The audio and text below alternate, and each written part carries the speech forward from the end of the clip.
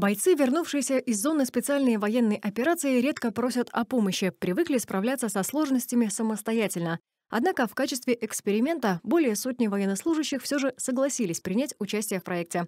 Цель организаторов — восстановить физическое здоровье бойцов и помочь им с социализацией. Но обо всем по порядку. Начнем с материальной составляющей. Какие занятия спортом без формы и тренажеров? Только на экипировку организаторы потратили более 900 тысяч рублей, чтобы каждый боец был укомплектован всем необходимым. Получилось так, что мы смогли поставить тренажеры. Часть мы передали в Росгвардию. На них ребята сейчас занимаются. Нашими сотрудниками непосредственно это все используется по сегодняшний день, но и в дальнейшем э, рассчитываю, что данный проект будет продолжен. Сменив военную форму на спортивный костюм, бойцы упорно работали над собой. Не все давалось сразу. Занятия в тренажерном зале — это не только про силу, но и про выносливость. Некоторые, когда только приходили, там а, штангу словно поднимали, там ну, 30-40 килограмм, потом через месяц занятий уже они там на 10-15 килограмм начинают больше и подходов больше, и больше раз поднимать, и, соответственно, веса другие. С удовольствием ходят в бассейн плавать, восстанавливаются.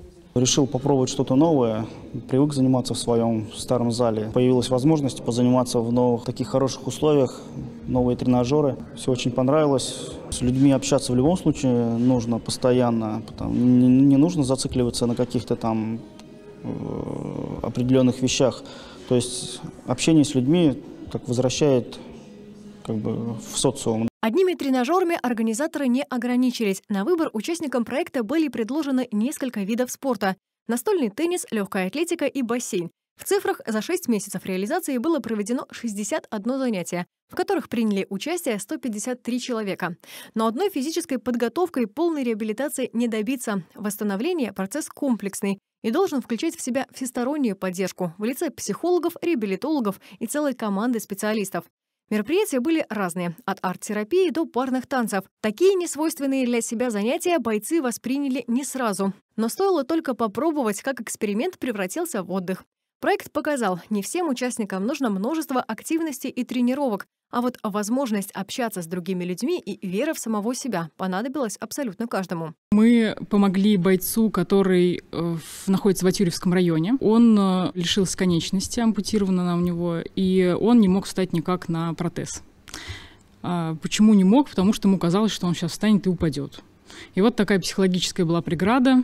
А, мы взяли блогера Игоря Кошкина, а, мы взяли специалиста из э, протезно-ортопедического предприятия Мордовского и выехали на место, э, также провели беседу, и у нас впервые человек встал на протез и прошелся несколько раз по двору. Специализированной помощью военнослужащим, которые получили травмы различной степени тяжести, занимались в спортивном клубе «Вымпел». Результаты положительные. Помимо физического здоровья, бойцы обрели веру в себя и собственные силы. У них появился стимул не опускать руки. Факт показывает в том, что все-таки участники специальной военной операции нуждаются а, просто во внимании. Внимании, когда им а, это интересно, когда им это весело проводить время, да, то есть эти мероприятия пользовались большой популярностью, в том числе и родились предложения, связанные с и приглашением блогеров, и бачаты, и другие мероприятия, которые как бы мы проводили. Всего за 6 месяцев в рамках проекта было проведено 41 мероприятие, направленное на сплочение и социализацию военнослужащих. Благодаря этому вновь обрели душевное равновесие более 140 бойцов. По своей практике что могу сказать, что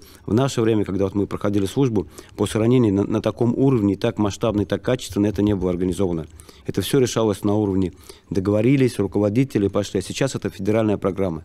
То есть это очень большой такой сильный плюс, который, надеемся, дальше все-таки как-то будет продолжать развиваться и не останется вот только вот как акция единичная. Официальная реализация проекта «Мордовия. Своих не бросаем» завершится 31 августа. Но итоги можно подвести уже сегодня, а они говорят, что все ожидания себя оправдали. Количественные и качественные показатели, заложенные в проект, перевыполнены. Ирина Суконкина, Александр Овчинников. Народные новости.